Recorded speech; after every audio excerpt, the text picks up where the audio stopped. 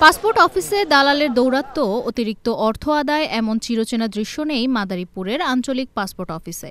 পাল্টে গেছে অতীতের রূপ। নবরূপে আত্মপ্রকাশ করেছে সরকারি সেবাদানকারী এ প্রতিষ্ঠানটি। ভোগান্তি লাঘবে চালু করা হয়েছে হেল্প ডেস্ক। ফলে সেবা নিতে অপেক্ষা করতে হচ্ছে না লাইন ধরে।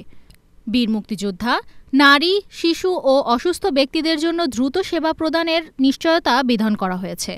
গুরুত্বের সাথে সবকিছু দেখভাল করছেন প্রতিষ্ঠানের প্রধান।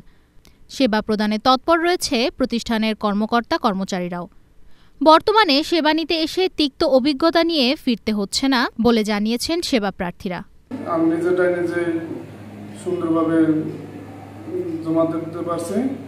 কোনো ঝামেলা নাই ঝামেলা মুক্ত আমি নিজে নিজে গিয়ে পাসপোর্ট অফিসে গিয়ে পাসপোর্টটা নিজের পাসপোর্টটা নিজে কমপ্লিট করব। তো এখানে আইসা যেটা দেখলাম যে না এখানে সকল কার্যক্রম খুবই সুন্দরভাবে হচ্ছে। দালাল বা কোনো হয়রানি এরকম নাই।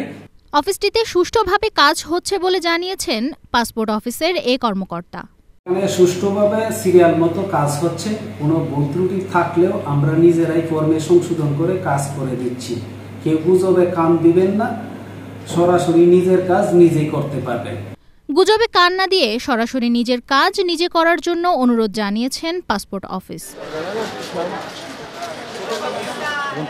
কানিশ্রাবণী চ্যানেল এস, নিউজ ডেস্ক।